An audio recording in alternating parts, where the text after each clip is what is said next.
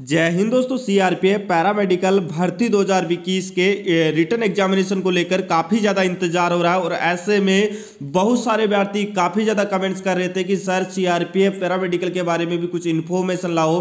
तो दोस्तों, यहाँ पर आप सभी के लिए एक और अपडेट लेके आए क्योंकि 2021 में भी आपका रिटर्न एग्जामिनेशन नहीं हुआ है। तो अब 2022 में कब तक होगा? आखिर क्यों फिर इसे डिले किया गया? क्योंकि जनवरी में आपका, जनवरी पैस तक आपका दिसंबर लास्ट और जनवरी पैस तक आपका एग्जामिनेशन होना था, लेकिन फिर से उसे डिले कर दिया गया आखिर लगातार क्यों उसे पोस्टपोन किया जा रहा है? क्यों उसे डिले किया जा रहा है? तो इसको लेकर एक और अपडेट आप सभी के लिए आई है सीआरपीएफ पैरामेडिकल भर्ती को लेकर। तो दोस्तों, वीडियो आपके लिए काफ़ी ज़्यादा महत्वपूर्ण साबित रहने वाला वीडियो के अंत तक आप ज़रूर बने रहिएगा।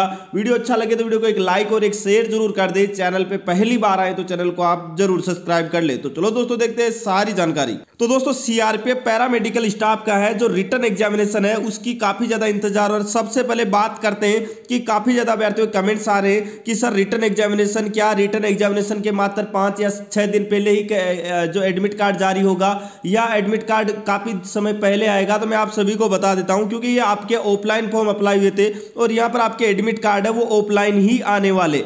बिल्कुल दोस्तों ऑफलाइन ही आपका एडमिट कार्ड आएगा और एग्ज़ाम से कम से कम एक महीने पहले आपके एडमिट कार्ड भी आना शुरू हो जाएगा, क्योंकि धीरे धीरे सभी कैंडिडेटों को यहाँ पर भेजा जाएगा और सबसे पहले एसआई एएसआई और हेड कॉन्स्टेबल का एग्जामिनेशन होना है। उसके बाद में बाकी की पोस्टों का आपका रिटर्न एग्जामिनेशन होना है। और यहाँ पर बात करें तो ऑफलाइन क्या सभी जो फ़िज़िकल फिट है, उन सभी का क्या ऑफलाइन एडमिट कार्ड आप आएगा? तो मैं आप सभी को बता देता हूँ एडमिट कार्ड आपका ऑफलाइन आएगा, लेकिन फ़िज़िकल की तरह फ़िज़िकल हुआ था आपका उस समय भी दोस्तों ऑनलाइन लिस्ट जारी की गई थी। तो इस बार भी आपकी ऑनलाइन लिस्ट भी जारी होगी मतलब जिन कैंडिडेटों का किसी कारणवश उनका एडमिट कार्ड घर पे नहीं पहुँच पाता है तो उनका ऑनलाइन लिस्ट में भी अपना नाम, अपनी डेट और अपना सेंटर का नाम दे के एग्ज़ाम देने जा सकता है।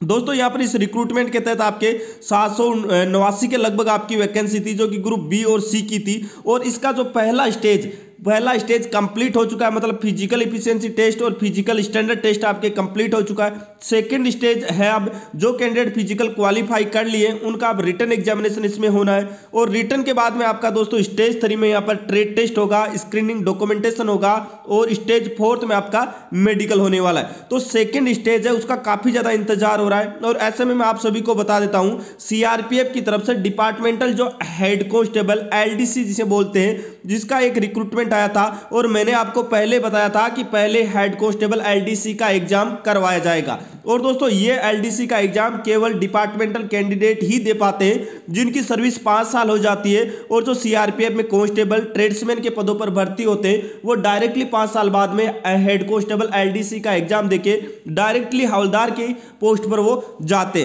तो दोस्तों, उनका भी फ़िज़िकल एलडीसी हेड कांस्टेबल का फ़िज़िकल कंप्लीट हो चुका था। मैंने आपको बोला था कि एलडीसी का रिटर्न एग्जामिनेशन जैसे हो जाएगा। तो उसके बाद में जो पैरामेडिकल की भर्ती है, उसका प्रोसेस है, उसे शुरू किया जाएगा। लेकिन दोस्तों, सुनने में आ रहा है कि जो एलडीसी आपका जो एलडीसी का जो होने वाला था हेड कॉन्स्टेबल का रिटर्न एग्जामिनेशन उसे पोस्टपोन कर दिया गया और यही कारण है, और यही कारण है कि दोस्तों, आपका भी एग्जामिनेशन कुछ समय के लिए आगे चला गया नहीं तो दोस्तों, आपके एग्जामिनेशन को लेकर सीआरपीएफ है, वो कोई ना कोई नोटिस जारी करके आपको सूचित कर देती कि इतने इस महीने में इतनी तारीख से और इन ट्रेडों का एग्जामिनेशन होने वाला है। तो दोस्तों, अभी कोई अपडेट नहीं आई है। एलडीसी का जैसे ही एग्जामिनेशन कंप्लीट हो जाएगा, उसके बाद में सीआरपीएफ पैरामेडिकल का भी रिटर्न एग्जामिनेशन करवाया जाएगा। आप अच्छी तैयारी कीजिएगा, क्योंकि आपके सामने काफ़ी ज़्यादा समय आपके पास में बच चुका है और रिटर्न एग्जामिनेशन का अगर आपने अभी तक सिलेबस नहीं देखा है तो डिस्क्रिप्शन बॉक्स में मैं लिंक दे दूँगा, जहाँ जाके आप पूरा सिलेबस भी देख सकते हैं। तो दोस्तों, ये थी एक छोटी सी जानकारी। जानकारी अच्छी लगे तो वीडियो को एक लाइक और एक शेयर ज़रूर कर दे। चैनल पे पहली बार आए तो चैनल को आप ज़रूर सब्सक्राइब कर ले। तो दोस्तों, इस वीडियो में इतना ही। मिलते हैं नेक्स्ट वीडियो में। तब तक के लिए जय